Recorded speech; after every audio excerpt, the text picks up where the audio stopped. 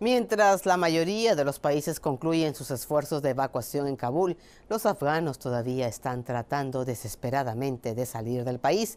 Hablamos con personas que esperaban fuera de la embajada de Kazajistán con esperanza de obtener visas para reunirse con sus familiares. Llevamos aquí los últimos tres días, pero la embajada está cerrada. Aquí hay familias, incluidas mujeres y niños, y ha sido muy difícil para ellos. Llevo aquí una semana, pero la embajada está cerrada por motivos de seguridad. Kazajistán no aceptaba migrantes afganos antes, pero ahora nos permite solicitar visas si tenemos familiares allí. Así que intento aprovechar esta oportunidad y marcharme.